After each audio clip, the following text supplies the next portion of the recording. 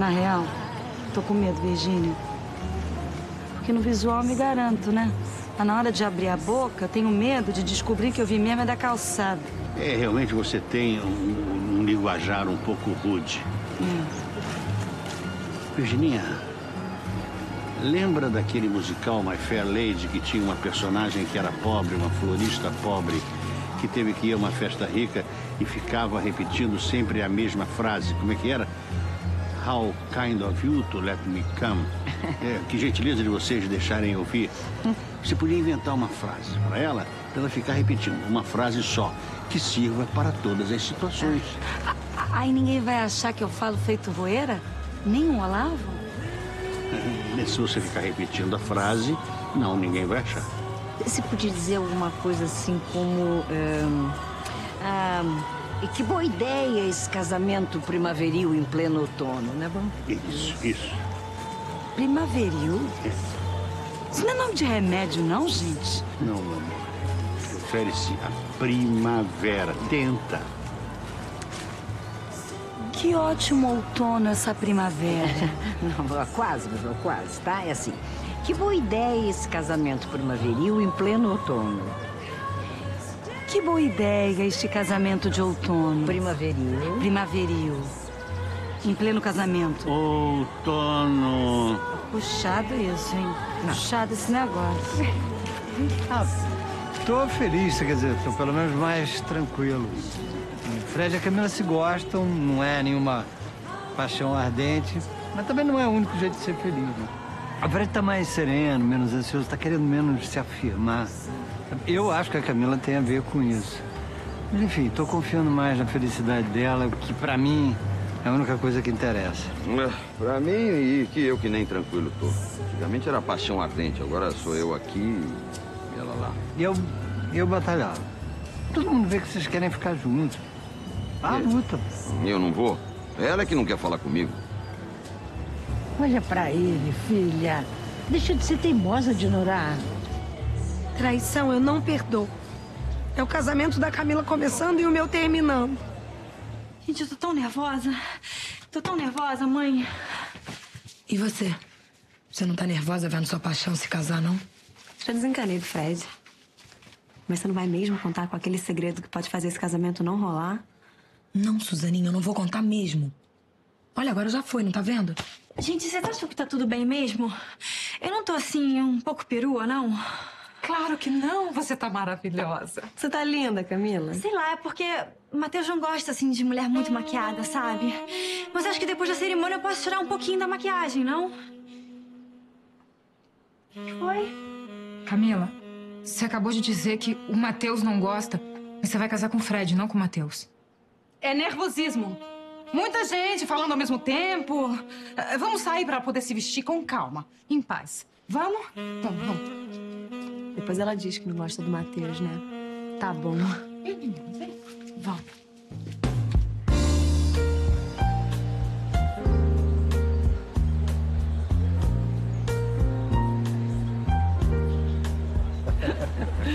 O Urbano é um cidadão do mundo.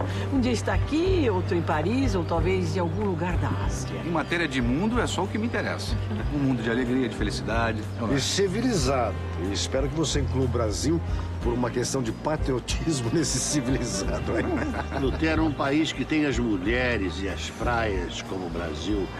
Ele já é civilizado desde o primeiro dia da criação. E nós aqui ouvindo isso, hein?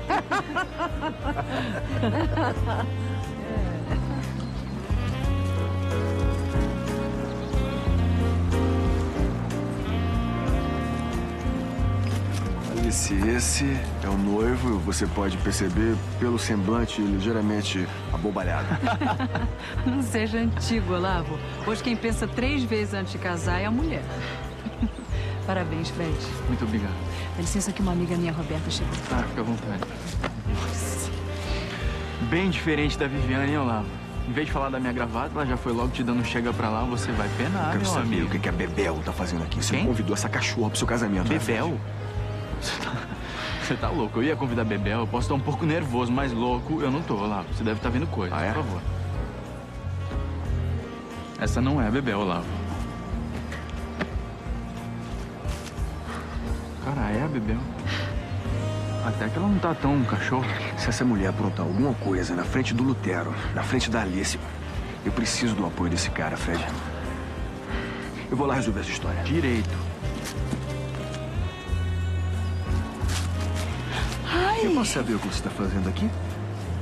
Que boa ideia este casamento primaveril em pleno outono. Outono? Que isso? Você tá de sacanagem comigo? Que isso? Que boa ideia este casamento. O que, que é isso? Você tá louca? Robotizou? Que isso? Você... Quem te trouxe aqui esse casamento outonal? Primaveril. Você quer que eu faça desgraça aqui nesse casamento primaveril? Eu não posso falar senão dou pinta, entendeu? Que boa ideia este casamento primaveril em Olha aqui, pleno outono. olha aqui, olha aqui. Se você aprontar alguma coisa, você vai se ver comigo. Eu não, que boa ideia este casamento primaveril em pleno outono. Ô, Daniel. E aí, cara, tudo bem? Tudo bem. Tá bom? Oi, Paula. Que estupidez, né? Sinto muito, eu...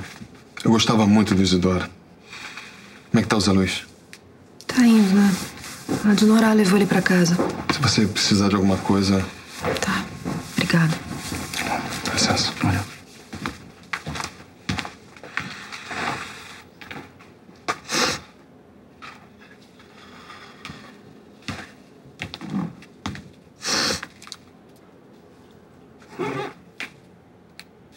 Oi, né? Eu nem tinha te visto aí. Tchau, Thaís. Como assim, tchau, Thaís? Eu acabei de perder meu avô, que era a pessoa que eu mais amava nesse mundo. E tudo que você tem pra me dizer é tchau, Thaís? Olha, agora chega, eu não aguento mais. Um minuto você vai embora daqui, chega. Hermínia. Ah, tô por aqui, tô engasgada. Não aguento mais ver você debochar de todo mundo que tá aqui, debochar do teu avô que tá morto nesse caixão. Agora você vai sair daqui, ou eu mesma te empurro. Hermínia, O que que é aqui isso? não há lugar pra isso. Tem razão, aqui não é lugar mesmo. O que, que é isso? Vai. Me larga, sua doida! Alguém pede pra essa surtada me largar? Tem razão, larga o cinco você estiver lá do lado de fora. Escuta aqui, que direito você tem de dizer pra onde que eu tenho que ir? Eu tenho todos os direitos. Tenho o direito de quem teve carinho e amor pelo seu avô a vida inteira. Como todo mundo que tá aqui, menos você. Você nunca foi capaz de fazer um gesto de carinho, um gesto de amor pelo seu avô. Pensei que você fosse ter a decência de não aparecer aqui, mas me enganei. Parece que você quer se divertir às custas do seu avô até o último minuto. É? O que, que você sabe da minha história com meu avô, sua baiaca histérica? Sei tudo! Tudo! Sei que você tratava ele feito pano de chão! Sei que você maltratava o Zé Luiz! Sei também que se ele tá agora morto naquele caixão, é porque ele tava indo atrás de você! Por causa dos teus trambiques! Por isso que ele tá morto, porque queria te botar na cadeia!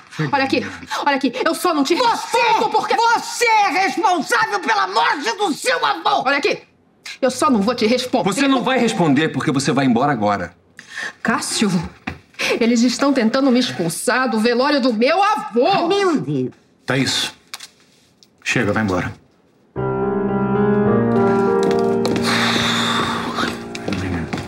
Eu sou uma moça, Olavo.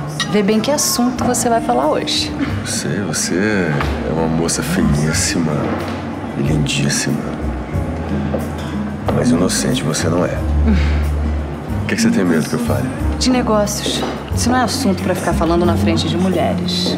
Eu tenho certeza que a gente tem coisas muito mais interessantes pra falar. Mas aí vai ser muito difícil porque eu e seu pai somos dois homens de negócios. Os homens de negócios terminam falando de negócios mesmo quando não querem, né, Lutero? Mas eu vou entender se você evitar esse assunto hoje, Olavo. Afinal de contas, o prazer da minha filha continua sendo a coisa mais importante pra mim. Até mais do que negócios. Então, eu, como um homem de negócios, vou seguir as regras do jogo. Ai, tu foi mesmo nesse casamento, é? Convidada de uns amigos das altas rodas. Olá, ficou com cara de tacho quando viu a poderosa aqui. E você, hein? O que foi? Armou pra me encontrar com o Olavo com outra? Tentou envenenar? Mas eu não sou mulher de me abater, não, meu nego. Vai se achando, bebê. Vai se achando, vai. Tá mordidinho? Deu com a cara no chão? Hum? Tá mordidinho? Tu que vai acabar no chão um dia, minha filha. Quando cair desse salto alto. É. E tiver que vir correndo atrás de mim pra pedir arrego. É. Ai! Hum!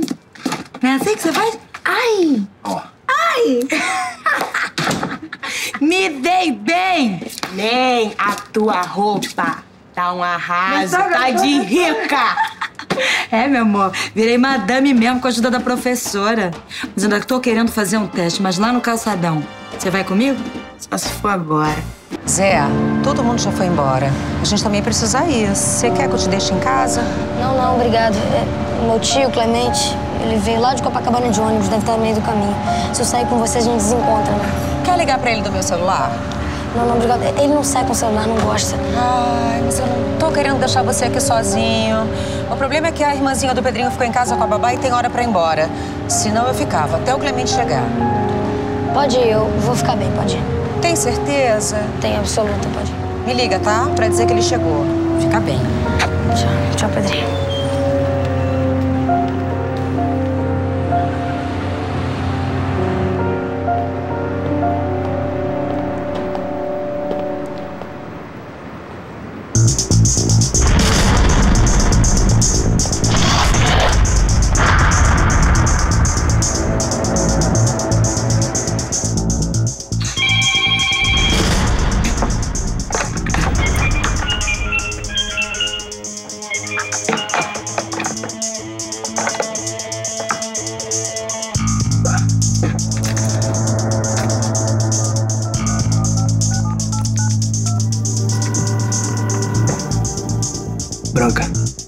Sou eu. O moleque acabou de ligar a cobrar como tu previa. Deixa o telefone fora do gancho. Valeu.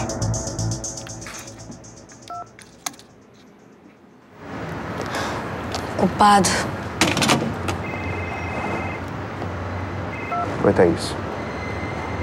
Eu tô vendo ele aqui. Eu vou fazer o que você mandou, ué.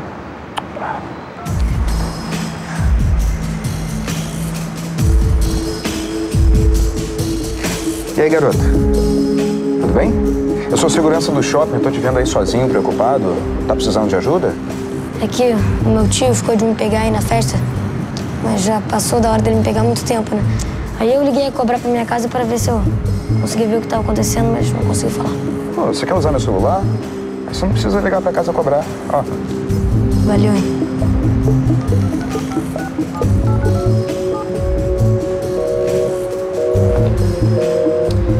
Também sou da ocupado. E agora? fica frio. Não sei o que, que eu faço. E se ele não vier, como é que eu volto pra casa? Eu acho que você é um garoto esperto, né? Aposto que você já sabe pegar ônibus. Só em Copacabana. Aqui na Barra eu nunca andei. Ah, mesma coisa. Ó, daqui passa um ônibus que vai pra Copacabana. Se você quiser, eu te boto dentro dele. Daqui até lá um pulo. Chegando em Copa, você procura sua casa. Tá, eu topo. Ônibus é ônibus, né? Não tem erro. É, assim que se fala. Vamos lá.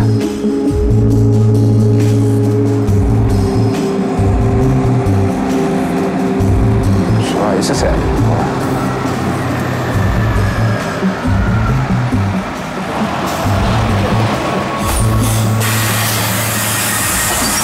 Tem dinheiro pra passagem? Tem, acho que eu tenho aqui. Vai lá então. Boa sorte, cara.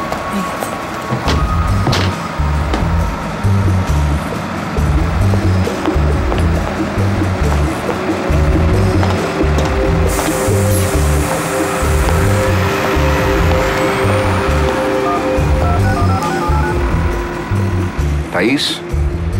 O moleque entrou no ônibus. Ela também foi junto. Tenho certeza. Esse ônibus vai seguir pela linha amarela e vai pra bem longe de Copacabana. Por favor, dona Lucinha, seu tenor já vai descer. Obrigada. É, sem querer tomar liberdade, mas a senhora tá muito elegante. Obrigada. Com licença.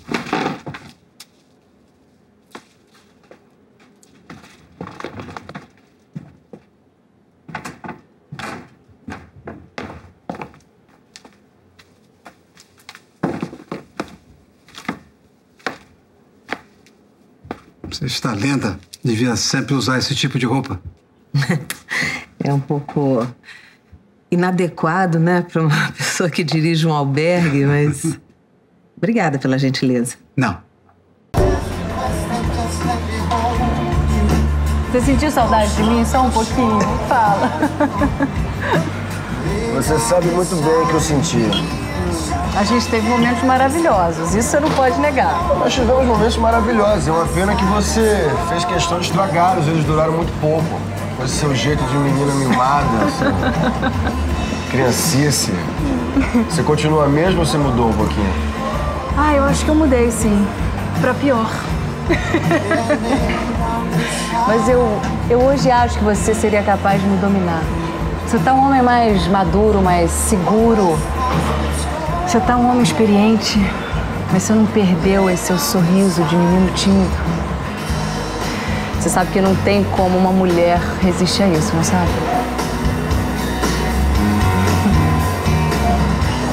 Eu adoro essa música. Vamos dançar, vamos. Someone told me long ago There's a calm before the storm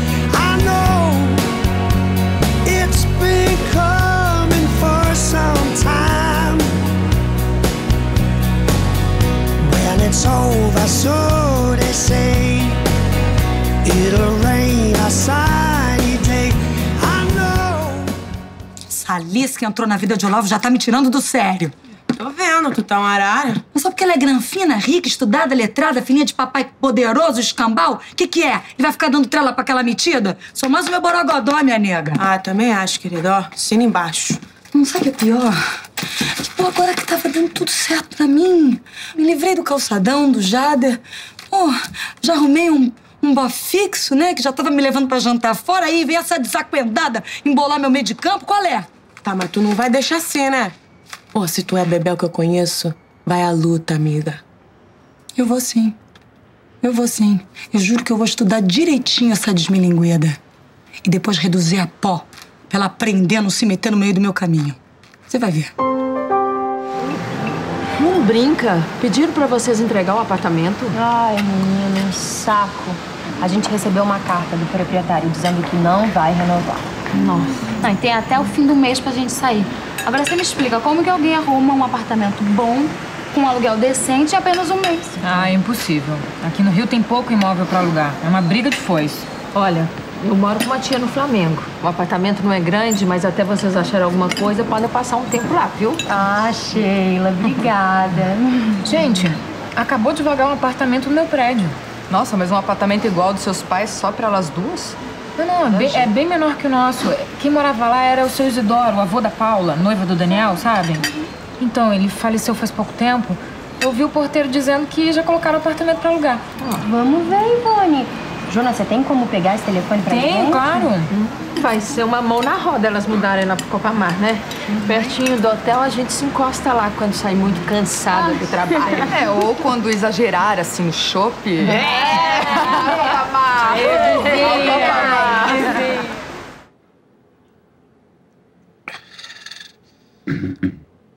Esfriou, né? É. esfriou, é. Não, não saio mais sem casaco. Nem eu, nem eu, não. Até porque a pessoa esfria, né? Assim, é. piscar de olhos. É verdade. Ô, Gilda! Querida! Olha, ó, o Vidal veio visitar você. Imagina, imagina, eu, eu, eu vim visitar a família toda. É, mas antes ele falou perguntando se você estaria. Eu disse que sim, e de repente você me inventa essa saída assim. Olha, logo se vê que você é do interior. Por que a senhora tá me achando caipira? Não interprete mal, nem interprete errado. É que, sabe, a gentileza, a solidariedade que você demonstrou como estranha são coisas raras, né? Numa Ah. cidade grande. Me identifiquei com você. Eu também sou da roça. Jura? Nossa senhora, uma madame tão fina, achei até que era da Europa. Não, não. Muito obrigada. Olha, é um chazinho assim de camomila, sabe? A senhora aceita assim com, com açúcar, com adoçante. Não, não, puro, puro obrigado. Pode deixar a colherzinha aí. Pode deixar aqui, obrigada, tá? Guarda aqui pra mim. Ai, ai, eu nem queria perder contato com você. Eu, eu posso deixar meu cartão? Claro. Meu Deus, eu acho que para Maria eu deixei em casa. É, você se importa de anotar? Imagina, claro, vai ser um prazer ser sua amiga. Deixa eu anotar aqui. Pode falar. É, Marião Novaes. Novaes? A senhora é parente do... O sobrenome não é tão incomum. E o Rio também não é tão grande quanto. Ah, Talvez você conheça os meus filhos. Eu tenho dois. O Ivan e o Olavo. E aí, que Marion, meu amor? Oi. Ô, linda. Como vai? Você tá cheirosa como sempre, né? Essa aqui é a mãe do Olava, dele e do Ivan. Pousuda desse jeito podia ser uma boa professora pra mim, né? Tu tá é louca? Ih, já vi dando ataque de pelanca dessa ladeira. Eu, hein? Boca mais suja não tem, não. Não tem categoria pra ensinar, não. Nossa, você anotou? Ai, desculpa, eu, eu me distraí. Não, deixa que eu anoto. Pode deixar aí, pode. eu sei lá, eu tive a sensação que você lembrou alguma coisa quando eu falei dos meus filhos. É, eu me lembrei da onde eu conheci a senhora. Uhum. Da onde? Da televisão. A senhora deu uma entrevista pra um programa, não foi? Ah, pode ser. Peraí. Mas é curioso que quando eu falei do meu primogênito, o Olavo, parece que uma luz se acendeu nesse. nessa palminho de rosto aí. É, ele é famoso, né? Ah, é, mais ou menos. Ah, Mas eu. Desculpa, mas eu me lembrei. Aonde eu te, te conheci foi no casamento do Fred Navarro. Ah, capaz, eu tava lá, sim. Cara, por isso que eu associei você ao Olavo. Ele não tirava o olho, não é? Ah. Bom, Bebel, pode ser sincera. Bom, tu tem algum flerte com o meu filho? Eu não faço isso não, dona. Agora eu entendi. Vocês dois são próximos, não é isso? E ele não quer assumir publicamente porque você é de origem humilde. Meu Deus, mas como isso me entristece. Ai, ai. Não, ele criei meu filho para ser assim um, para ser um homem do mundo, livre de preconceito, sabe? Para não ser escravo de convenções sociais. E agora ele tá lá, ele tá namorando Alice porque o pai tem ações da empresa e tem você escondido. Meu Deus, olha, não foram esses valores que eu passei para ele. A senhora tá querendo dizer o quê? Eu tô dizendo que você merece ter um homem bem melhor do que o Olavo. Uma pessoa que te coloca no pedestal. Eu não sei se meu filho, ele te falou que nós dois temos as nossas diferenças. É, Eu não sei o que, que meu filho te falou a meu respeito, mas a verdade é que eu sempre o recriminei. Porque ele, ele é muito. Meu Deus, o Olavo é muito ambicioso, ele só vê o lado prático da vida e está cada vez mais distante dos próprios sentimentos. E isso realmente me deixa muito preocupado. Bom, Bebel, me desculpa, não é por ser meu filho. Eu realmente não tenho absolutamente nada com isso. Querida, eu não quero perder a sua amizade. Hã? Eu costumo receber em casa para os jantares, assim, uns amigos, pouca gente, hein? Você, bonita desse jeito, ia ser um sucesso. Eu? É. Nossa, na sua casa, com seus amigos. Ah, porque é surpresa, você é encantadora. Não sei, eu. Não é que eu não sei se o Olavo vai Ah, achar. não, não, não. Isso aqui é entre nós duas, tá? O Olavo nem precisa saber. Aquilo, é- ele é um machão, né? Ele vai querer cortar suas asinhas, deixar você presa, pra estar sempre à disposição. Olha, vou ser honesto, eu tô fazendo isso porque eu realmente. Eu. Bebê, eu me simpatizei com você. Sabe? E também como mãe, eu não ia. Sei lá, eu ia- realmente ia me sentir culpada em saber que meu filho está agindo dessa forma. Tá? Tá. Então me dá seu telefone. Claro. É. Assim que eu reunir, assim, um grupo simpático, agradável, eu te ligo. Não tá aqui. É. Tá aqui.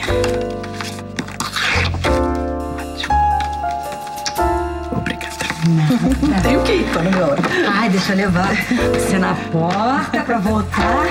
Agora que nós somos amigas, né? É claro, oh, meu sonho. Você é um sonho. Prazer. Até mais. Eu fiquei um pouco triste de saber que o Zezinho não iria ficar com ninguém da família. Mas eu achei que o seu Clemente iria assumir a responsabilidade de cuidar de um menino ainda. que ele iria compreender que o Zé Luiz não é um adulto, que ele não pode ficar sozinho e se cuidar por si próprio.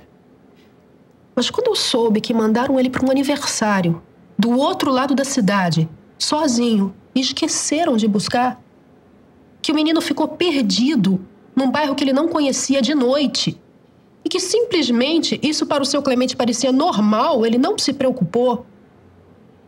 Eu realmente achei que eu tinha obrigação de fazer alguma coisa. Pelo filho do meu avô, que acabou de partir. Foi isso. Por isso eu movi essa ação. Muito bem. Se me permite, senhorita, algumas perguntas preliminares. Qual é a sua profissão? Eu sou promotora de eventos. Eu trabalho com Marion Novaes, uma promotora bastante conhecida. Ah, e é um, é um emprego regular, com registro em carteira de trabalho?